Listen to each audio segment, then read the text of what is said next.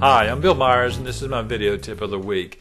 You know, this week I'm, my video tip is going to be a fairly short one, and it's, it's a response to a question I'm asked quite often, and that is when you connect a Canon HV20 or a Canon HV30 to Sony Vegas Movie Studio and try to capture high definition, sometimes Sony Vegas Movie Studio uh, or Sony Vegas will tell you that the, there's no device connected or the camcorder is offline. So when you go File and you select Capture Video, nothing happens. There's a way to solve that, and that's to go up and select Options, and then Preferences.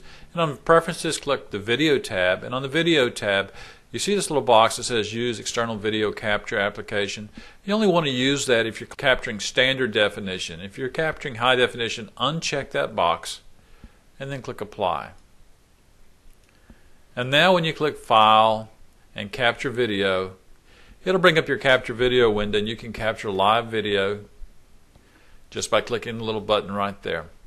Anyway, I'm Bill Myers. This has been my video tip of the week. You can find more like this at www.bmyers.com.